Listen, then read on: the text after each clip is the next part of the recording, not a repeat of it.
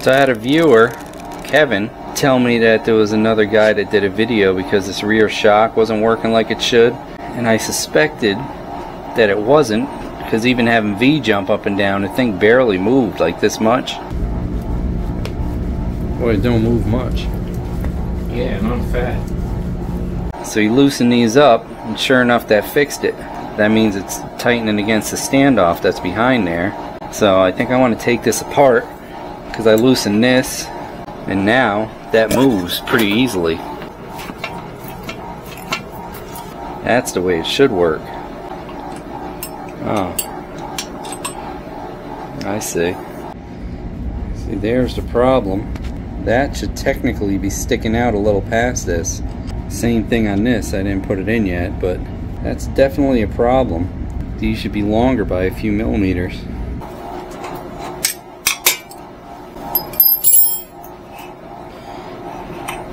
If you tighten that up, it's tightening up against that.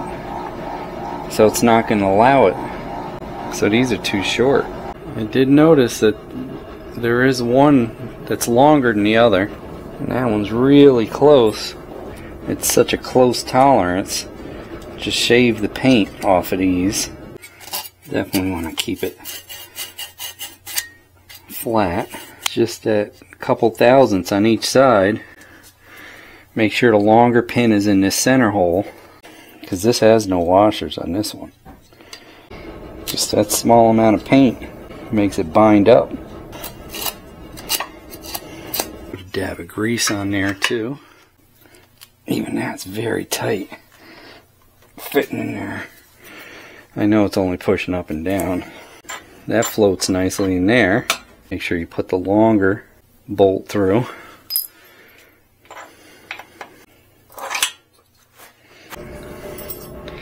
Feels a little better. I'll tighten this up. Now look, see how nice and loose that floats in there? That's what you want.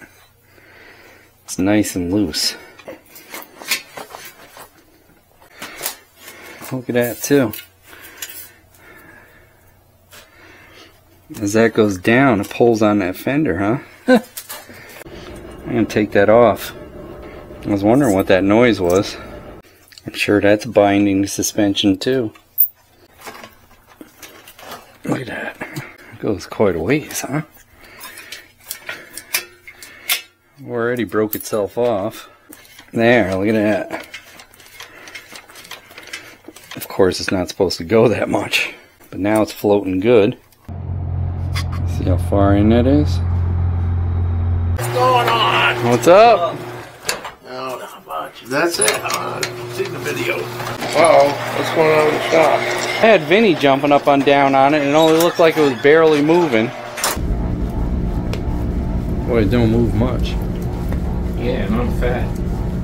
And I'm like, well, that does that's not right.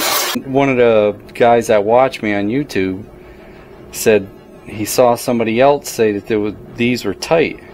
I think you're right. You're probably better off just putting it on there, put some Loctite, and just Yep. make it so it's just snug, and then you don't have to worry about it. Be fine. Yeah, Loctite would work.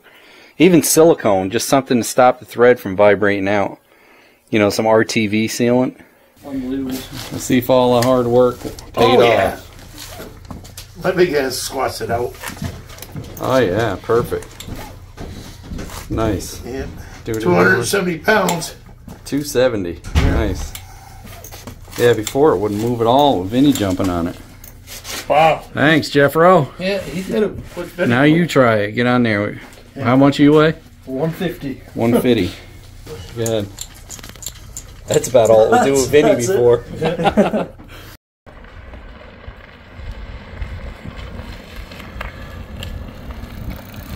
Just about 103 and a half, and I slid into the firehouse parking lot, and Ralphie give me a beer. all right. I took it for a little ride. You could definitely feel the suspension's working a lot better.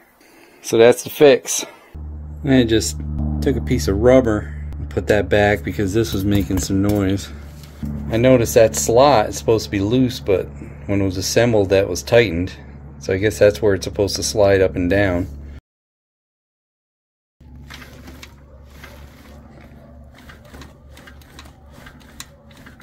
That should work. Hey, don't forget to like, comment, and subscribe. We'd love to hear what you have to say. Hit that bell if you want new notifications on new videos. Links for products used are in the description and on MotoCheez.com.